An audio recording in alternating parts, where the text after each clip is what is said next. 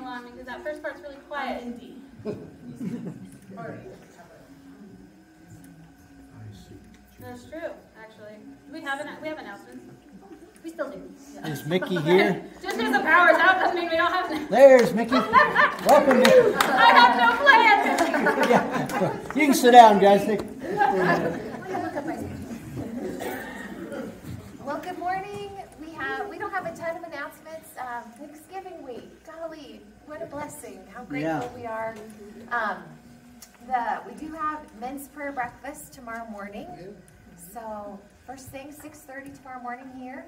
And then we have, um, the office will be closed on Wednesday. And then, of course, Thanksgiving. Um, and then, I don't know, Susie, are you gonna do the kids on Friday night? No, okay. Yeah, so nothing going on on Friday. Um, and then just to tune in on Friday, December 2nd, we're going to have our women's coffee and conversation, and then we're going to decorate the church afterwards. And then on that Sunday, December 4th, dun dun dun, we're going to have catered Christmas lunch, ugly sweater, wear your ugly sweater, and then a white elephant gift. So that's it. All right, good job. Yeah, so I'll announce the names of the songs before we do them. Normally we don't do that, you know, it interrupts the flow, but it's that kind of day. So if you want to look it up, make sure and take your phone off of Wi-Fi because sometimes the Wi-Fi pretends it's on and then it won't let you do anything. So Wi-Fi should be on for the next hour. it should be on. So we have Wi-Fi. So Jess, Thank do you. you want to try to do prayers? Are You loud enough to do that? Oh, I'm so sorry. That's okay. All right, great. We're going to pray. So I'd like to just ask, does anybody have any prayer needs this morning? Uh, this is family, right? And so, John, what do you got? Uh, Benjamin, he's uh, leaving the day after Thanksgiving. We're driving him out with him to uh, Missouri, and he'll be starting his um, uh, welding career. So he's going to welding school. Praise God. So we be pray for Ben. What else? Anybody else? Oh yeah, we got Wayne. in for Bryce Dancer. Yeah, we I definitely Um, wanted to lift up Bryce this want- morning. I had a word, somebody's got the information, there's somebody out there. I just got that word, there's somebody out there. Okay.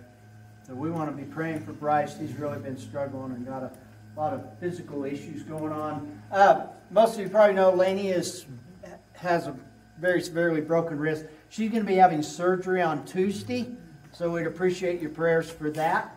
Um, and just she doesn't tolerate any kind of pain meds, and so she's going to have to do this with Tylenol, and so that's going to be a ice and Tylenol. So be praying for that as well. Uh, oh, the Miller family. Uh, John had a heart attack last night. I don't know. Do you know if he's in the Dallas Living Center? We're not really sure where he's at, but he has a DNR, and so it kind of sounds like they are expecting him. This may be the end for John. So we want to really pray for the Miller family as well. Uh, any others? Because now's a great time. This is, like I said, this is family, right? So. Oh, and I want to introduce you to Mark Darby. Mark, if you stand up for a second. Uh, we're going to be praying for Mark. Mark is going to be taking and starting our junior race team. Okay, he taught, and yeah, we're so excited. And Mark and I worked together for years and years, a long time ago, and we're really excited he's back. Um, so, kind of spread the word that we are starting a, a junior race team. He's going to be putting a parents' uh, meeting together. So, we're really excited about that. So, if you have questions or want to help, get a hold of Mark, okay? All right. One more. Sure. About half of Ukraine right now is like this. Doesn't have power. They don't have power. They some of them don't have water, gas. Yeah. We need to keep lifting them Terrible up prayer. situation.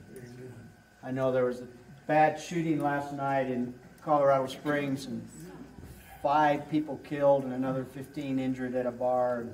So we just want to be praying for our nation. So, any others? Unsaved loved ones. Unsaved loved ones, amen. We definitely want to do that. Ben Anybody? is, Ben is waiting on paperwork, uh, to be Citizen. citizen. Oh, and, and, and like pilot.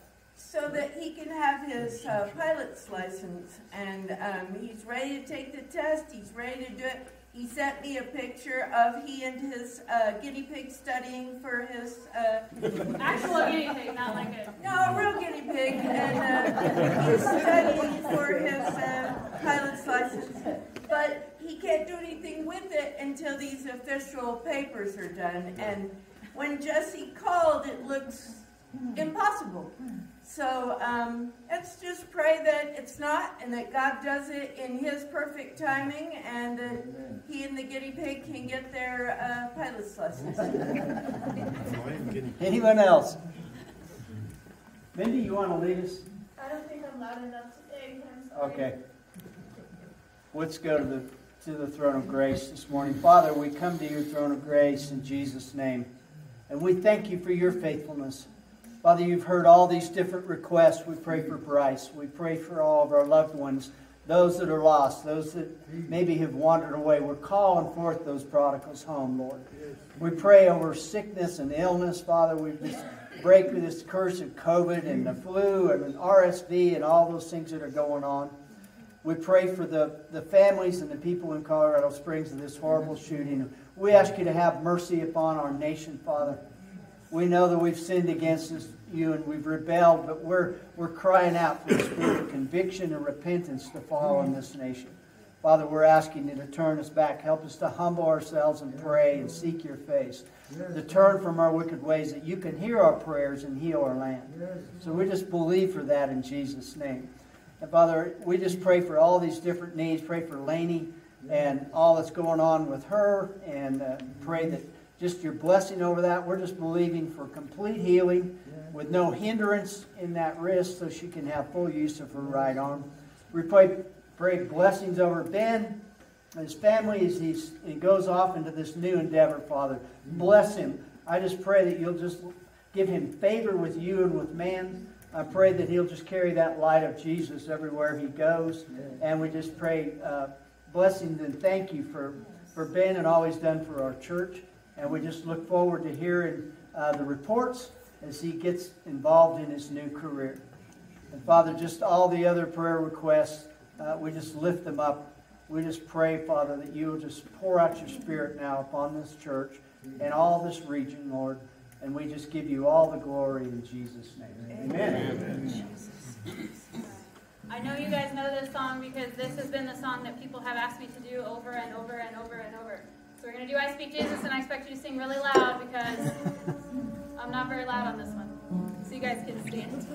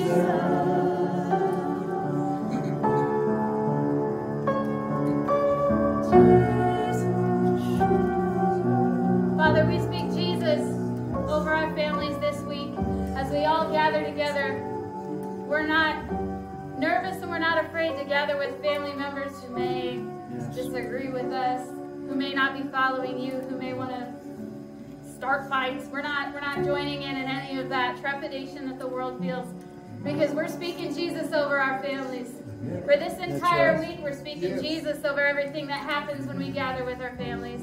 We're speaking Jesus over the family members we're not gathering with. We're speaking Jesus over every situation that comes up this week. Anything that gives us a little bit of anxiety or a little bit of a niggling in our stomachs, we're speaking Jesus over that too.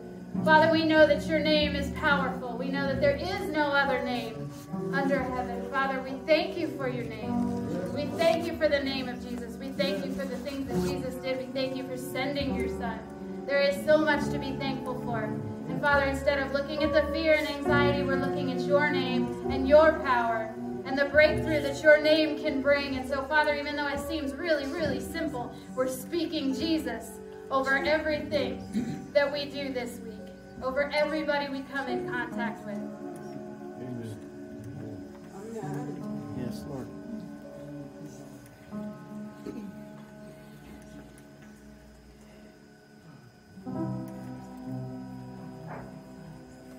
We're going to do uh, Holy Spirit, um, and it's by um, Brian and Katie Torwalt. So if you search it, which I've done a lot, you can search Holy Spirit Torwalt lyrics. It's just T O R W A L T. That's weird too. and other things I've never done before.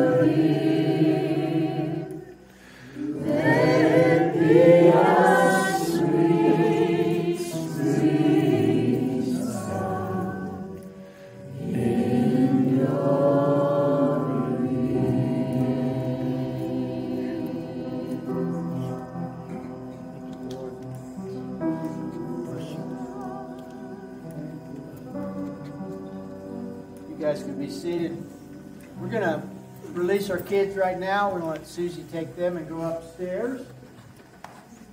Go through this here. Anything on it? Is my mic on? Coming through loud and clear. Loud and clear. Well, it is amazing how much we rely on electricity and technology and all of those things, but the exciting thing is, is God, we can worship together just like we are today. And it doesn't require lights and media and sound and all of those things. It just requires us coming together. Where the Lord says, where two or three are gathered, you know, I'll, I'll come and be in your presence. And I always like to encourage people um, because we can all come to the Lord and pray individually. And God says He will hear our prayers.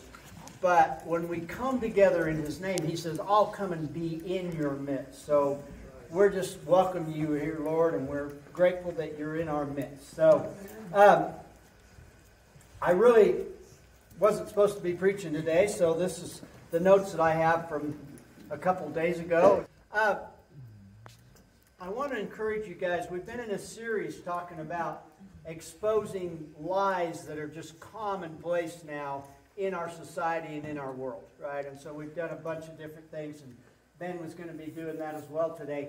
Uh, I want to talk about today one that I think all of us deep down inside really want, our flesh wants to believe this lie that once we become a Christian, then there's no pain, there's no suffering. We should, we should be able to be and treat God like Santa Claus, right? I mean, and we don't, all of us know we're not supposed to do that, right? But our flesh nature, that's really what we want is when things begin to go wrong, when we begin to struggle and stuff, it's so easy to cry out to God and say, why God? Why are we, why are you doing this? How many of you are guilty of that? Okay, I mean, we all do in different seasons. Um, and so today we want to, we just want to kind of look at that. I prayed quite a bit about this as I was just kind of starting to prepare this.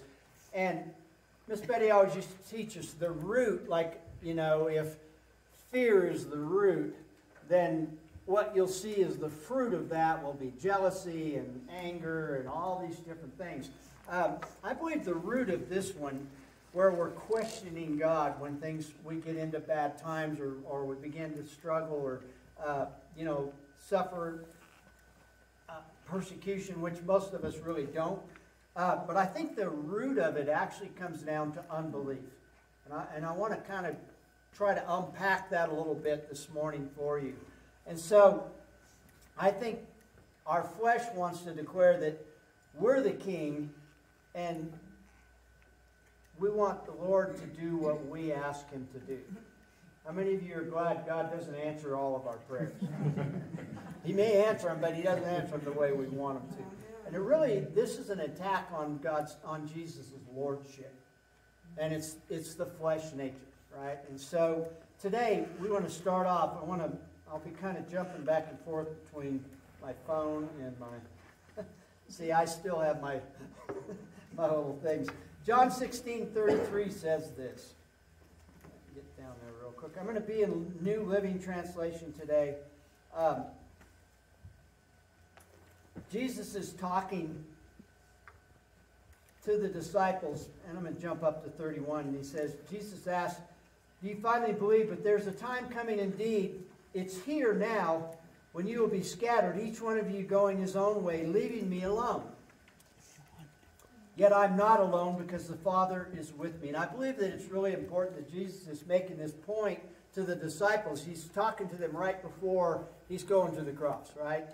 And he's telling them, You're going to leave me alone, but I'm never going to be alone. And I want to encourage all of us in Christ, in our relationship with Christ. The Father promises, I will never leave you or forsake you. And so, actually, I think um, Wayne, little Wayne, didn't you just tell us that you were talking about being alone this morning, and, and the Lord says you're not alone.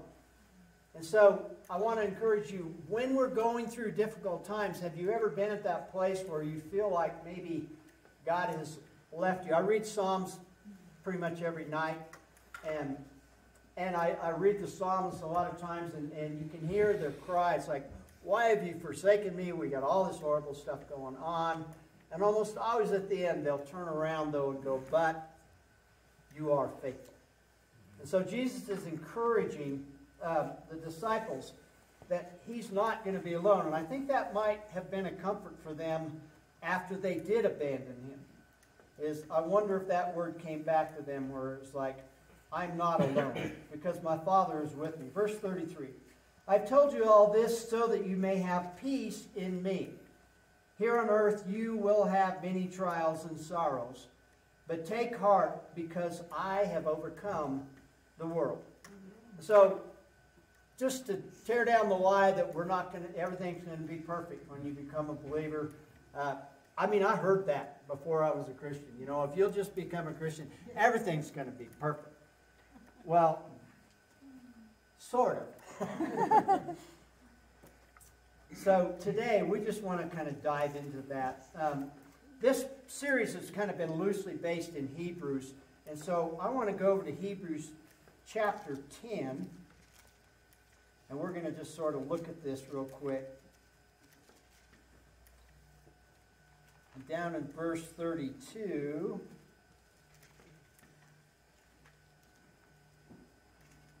I'm almost there.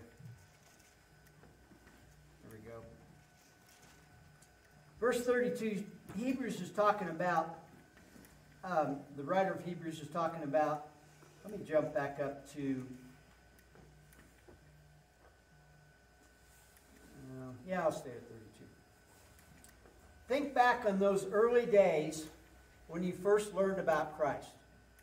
So the writer of Hebrews is reminding the people, remember what it was when you first came to Christ. Can you remember that point where you had that, that divine encounter? When it was that first time where you went, okay, you're really real. And, and you know, I've been you. I want you to come into my life. Uh, I assume that all of you have that testimony. Not everyone can pinpoint it to an exact time and place. My brother was just sort of a process that he kind of grew into. But remember that time when you know you have that assurance and that hope that, you know what? God is in, He's, He's in control of my life. He is my Lord. So, the writer of Hebrews is reminding those people about that. When you first learned about Christ, remember how you remained faithful, even though it meant terrible suffering. Sometimes you were exposed to public ridicule and were beaten. Sometimes you helped others who were suffering the same things. You suffered along with those who were thrown into jail. When all you owned, owned was taken away from you accepted it with joy. You knew there were better things waiting for you that will last forever. Let that sink in for a minute. Sometimes we have, we were talking this morning while the power was on. um, we were talking about how, I think it was Roxanne was talking about how it's so important when we go through struggles and difficult times and stuff that we remain thankful. Mm-hmm. Have you ever have you ever been in the midst of a really difficult time and all of a sudden you just the Holy Spirit will speak to you or you just remember and you just begin to thank God for his goodness and how it changes your attitude. Yep. It doesn't necessarily change the circumstances, but it changes your heart. And God is always after our hearts. You know, it's not His desire that we go through horrible things and stuff, but through suffering. I, I really believe this. I believe that I grow more in the Lord through the difficult times and the trials that I go through than through the good times. And I, I love the good times. I pray for them. I hope they keep coming in, uh, in abundance. But I really have those times when I grow, when I'm really struggling. Uh, and so I want to encourage you that some of you, I would just ask, how many of you are just kind of in a difficult season right now? Some of you are, some of you aren't. Okay? Um, the last week, month and a half, really for me, has been a real, real struggle. This summer has been a struggle for Laney and I both. It hasn't been a bad season, but it's been a very difficult season. And in the last month and a half, I really began to struggle with just discouragement and hopelessness and, and you know, a bunch of self-centered stuff as well, because that always just comes right in with the trouble, right? Is that self-pity wants to jump on top of you. And so uh, I was just really struggling with that, and I began to just cry out to God. And, and that was the first thing that He reminded me was be grateful in difficult times. You know, and, and that changed my heart some, but, you know, we were dealing with, uh, I'll just be honest with some of the circumstances. You know, I think the election, I was really kind of surprised that it turned out the way that it did. And what broke my heart was what our nation values right now. Uh, and, you know, sanctity of life was on the, on the ballot in a big, big way. And, and a lot of other things. I'm not getting into political stuff. But I just, that was one of the things that really brought a lot of discouragement. And it was, it was kind of a hopelessness. I was like, man, we've been pressing and we've been praying, we're believing for God to move. And it's really easy to allow those things to come and begin to steal from us. Lainey obviously broke her wrist really badly, and it was at a really difficult time. And then she went to the hospital and ER and got COVID, and came home and brought it. I got COVID, and then I was trying to take care of her and take care of me, and it, it was just, you know, the last week and a half was just sort of, it was just so, it just felt dark, and it just didn't feel right. But in this, in the midst of all of that, um, I just kept going to the Word and, and I just kept praying and I just kept being thankful for the things that God has done for us. And I told her Lainey's going to have surgery Tuesday, and we're, you know, actually, it, probably her recovery will be faster now than if she hadn't had surgery. Um, and so I just want to encourage you, we all go through difficult times. Sometimes they're major things, you know, I've been through lots of surgeries, lots of broken legs and heart attacks and all kinds of stuff. Uh, and all of us have. But how do you deal with that? How do you, what's your process when the, the world starts falling apart around you? What, what do you do? And so I want to go on because the writer of Hebrews just kind of gives us a little bit of a, uh, a picture of that. I want to go back and just read. You suffered with those who were thrown in jail. When all you owned was taken away from you, accepted it with joy. You knew there were better things waiting for you that will last forever. So one of the big, one of the first things is I always try to remember what my eternal destiny looks like. That nothing in this world can change my destiny in Christ. Somebody ought to say amen. Okay, I mean, you need to realize nothing that happens in this world, when you accept Christ, when you're a born again believer, you have that personal relationship, you have eternal life with Jesus Christ. You have eternal life in heaven with the Father. We have eternal life together as the body of Christ. And so I always try to remind people that's the big picture.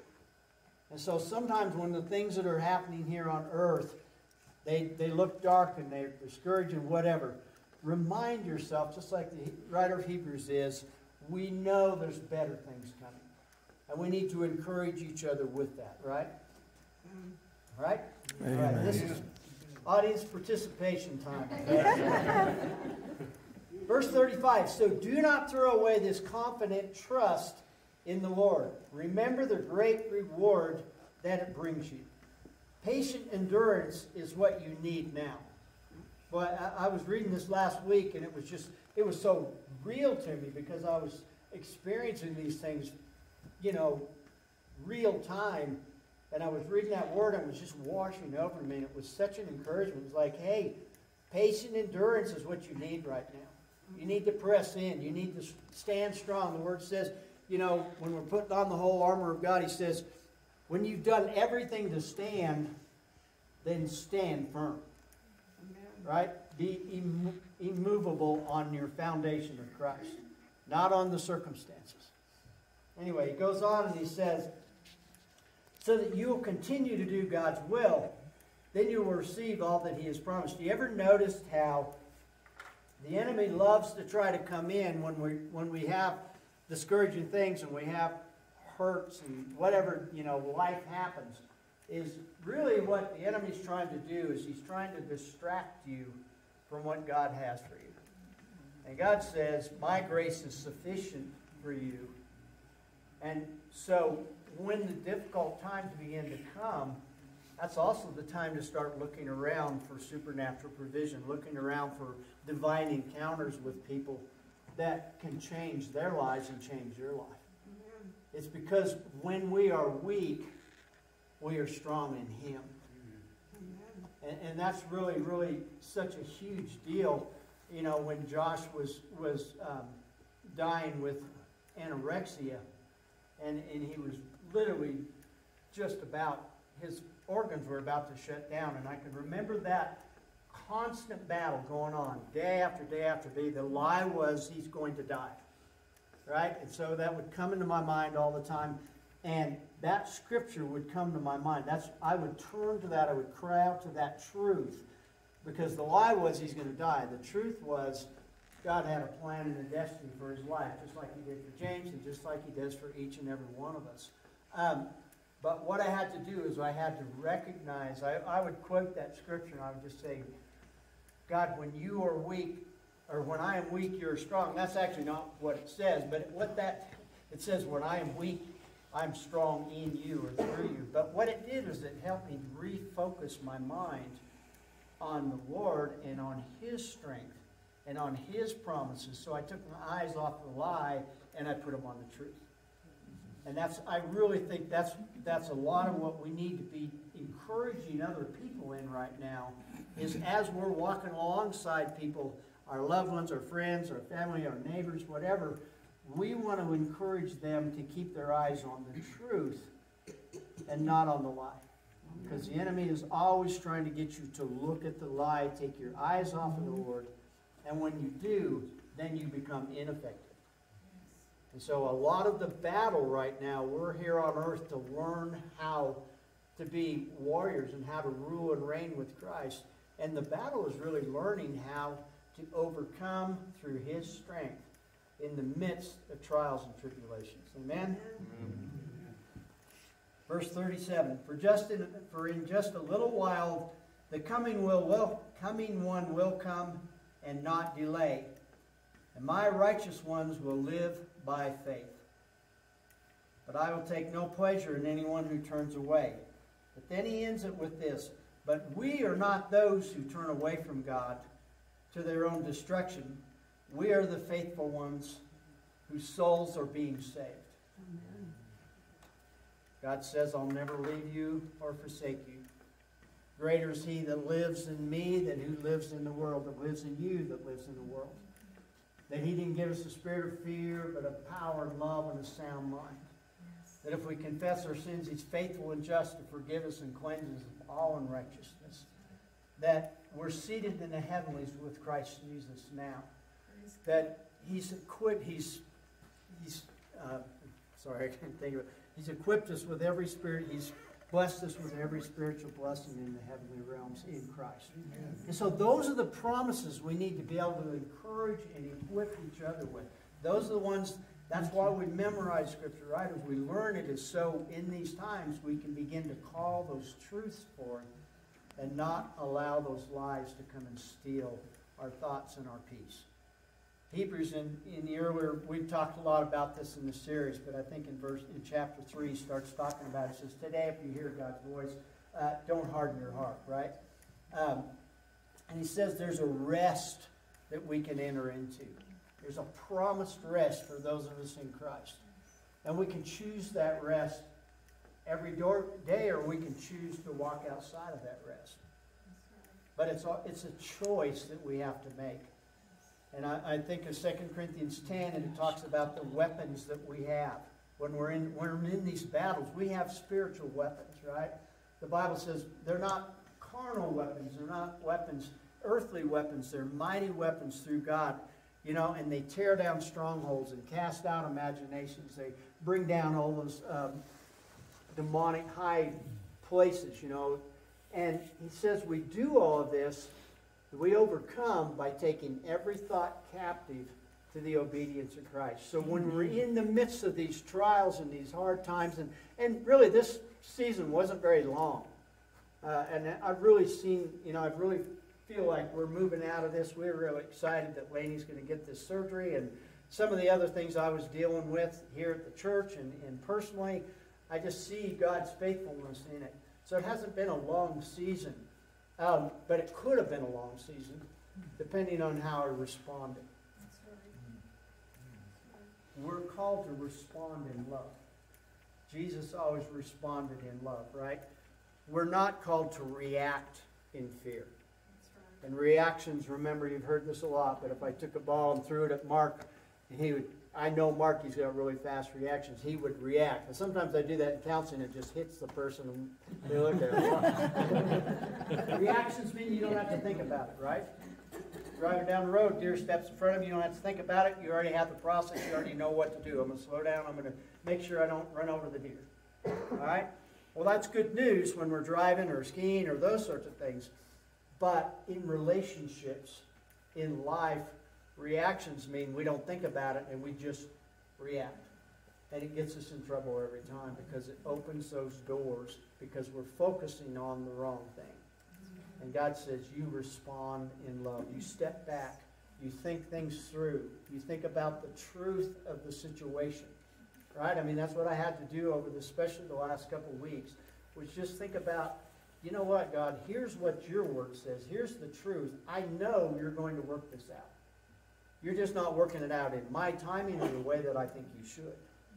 And so I told you when we started this, it kind of comes back to a root of unbelief. If you think about it, it's like the battle I was having wasn't that I didn't really think God would work it out.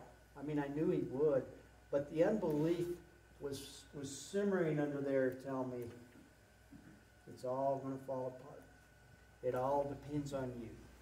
You got to carry all this, and and it just starts to wear us out, doesn't it? I, I can't remember in the Old Testament somewhere it talks about the enemy. He just constantly. You may remember that wearing the saints out. Daniel. When is it? Where is In it? Daniel. Daniel. He Yeah. wears out the saints. Yeah, he's, he's, he's looked for that, I wearing down, find or trying to wear out the saints. And so, we don't have to respond that way. It's okay. Right? We have to come alongside each other. We have to be willing to share, hey, I'm in a difficult season and I need help. I mean, if you try to do it on your own, good luck. I mean, it doesn't work. I mean, I, I got a hold of a couple of people I trust and said, I need some prayer. I need some help right now.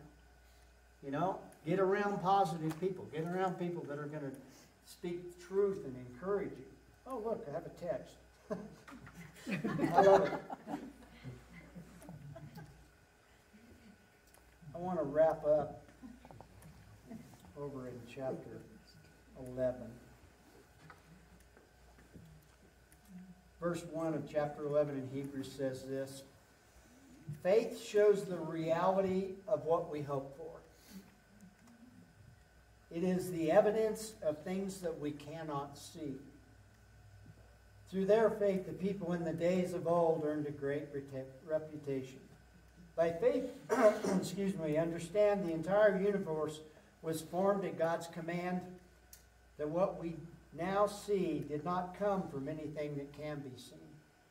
It was by faith that Abel brought a more acceptable offering to God than Cain did.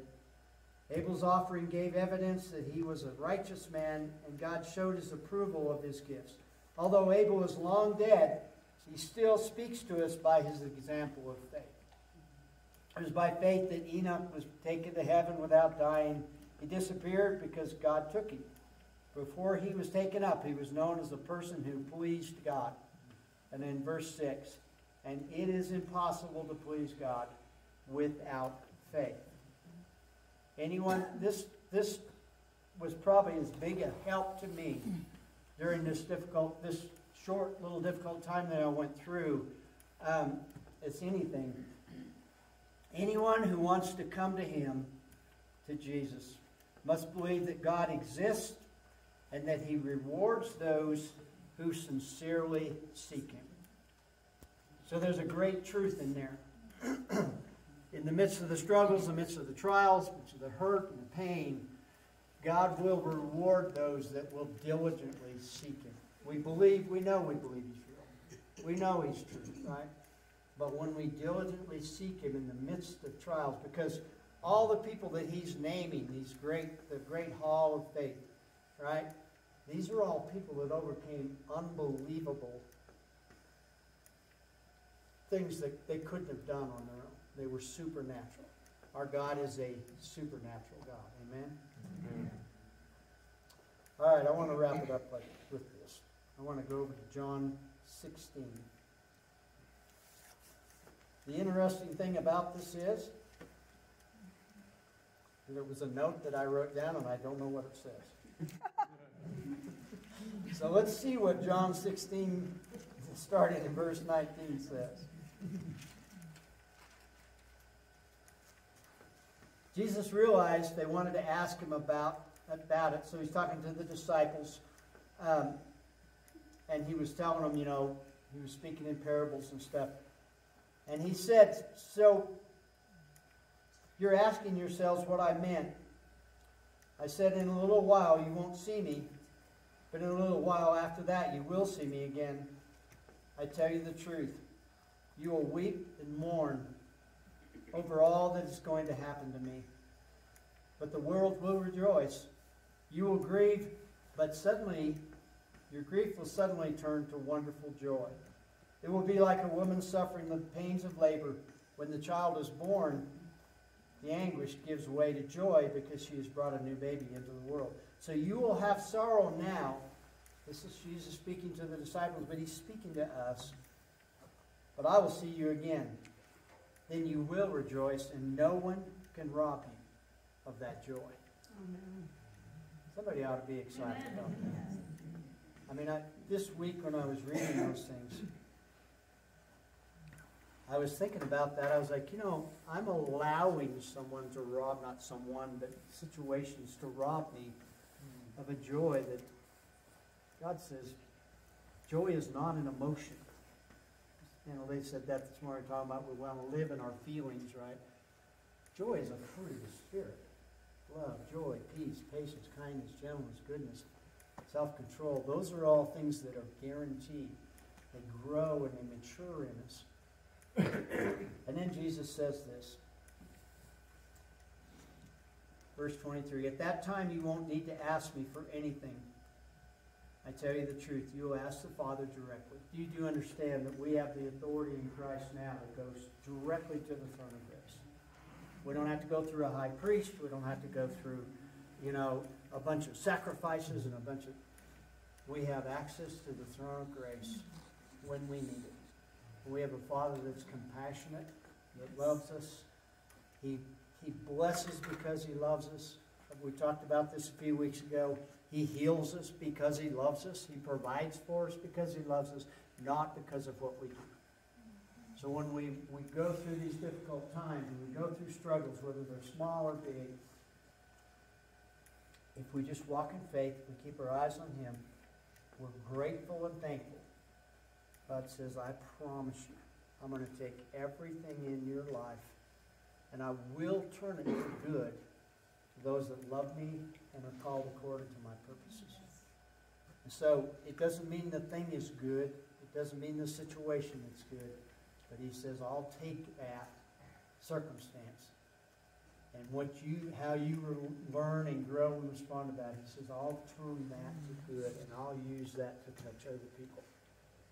So my, that's my encouragement today is that in the midst of trials, whether you're in one now or if you're going to end up being in one down the road, we have a faithful God and we have a faithful intercessor in Jesus that's sitting at the right hand, interceding for each and every one of us, regardless of what's taken place.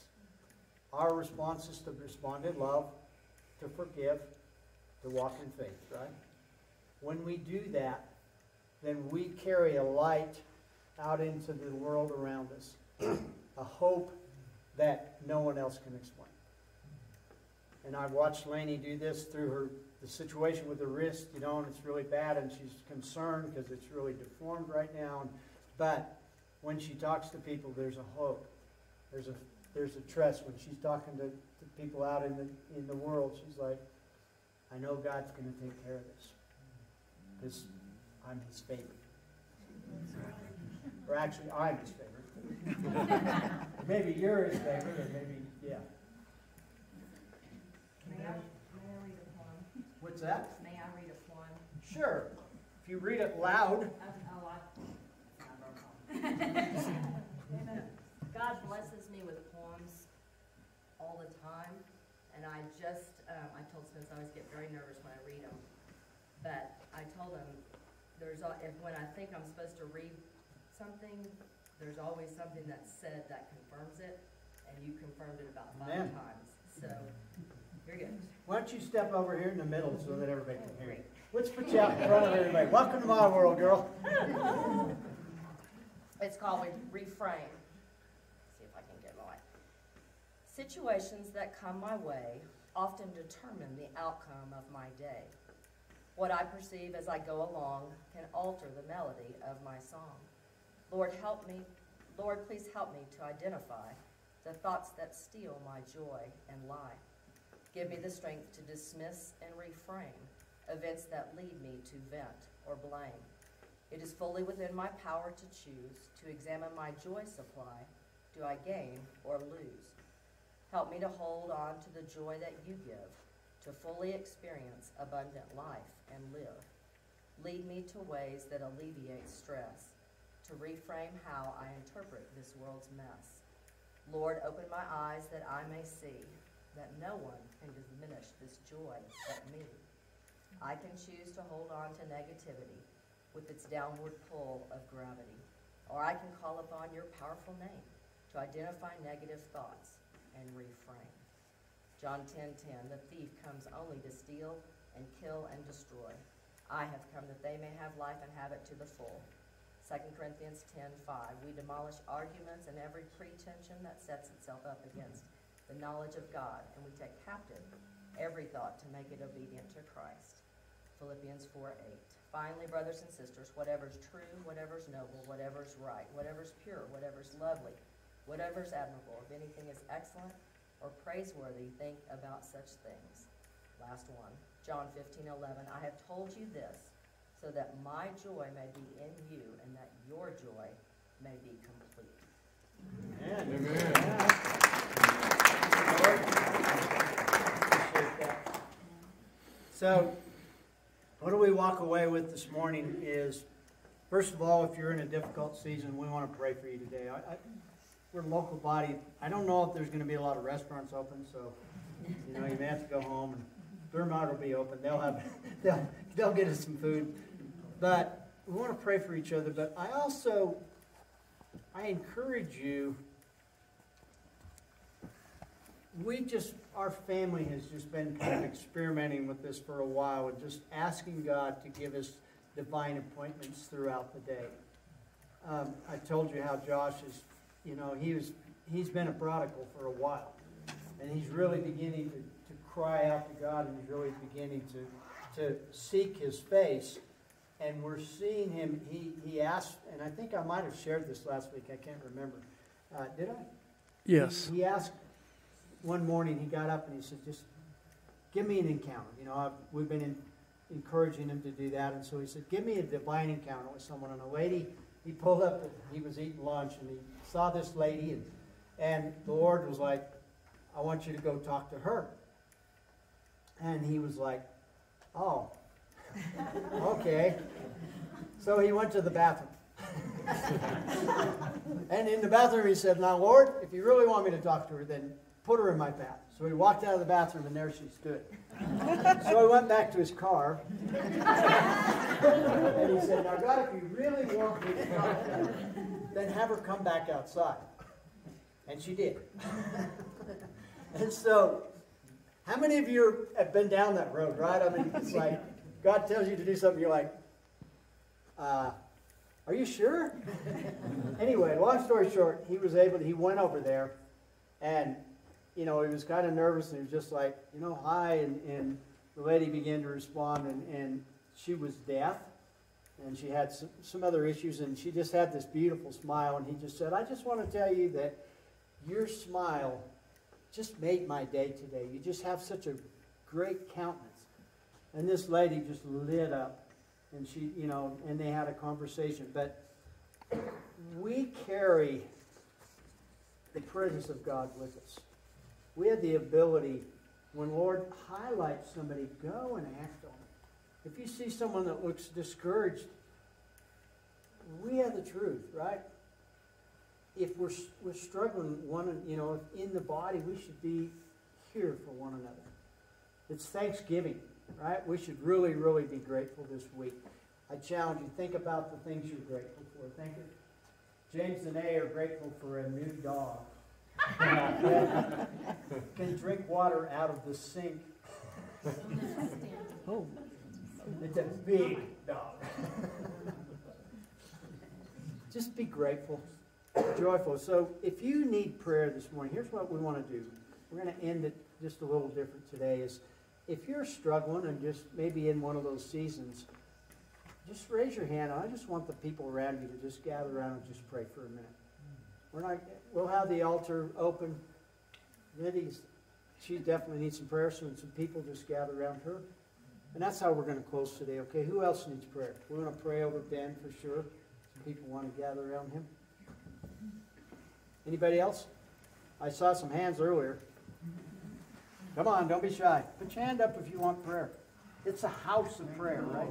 That's what we're called to do. We don't have any power today, so, or electricity, so. We got power. Now, lots of power, just not any electricity. And I'm just gonna, as they're praying, you guys, I'm just gonna just speak a blessing over you and dismiss you. But Father, we thank you for your goodness. I declare blessing over each and every person that's before here today. We go forth in the name of Jesus. We go forth in joy and in love. So we pray covering and blessing in Jesus'. Amen.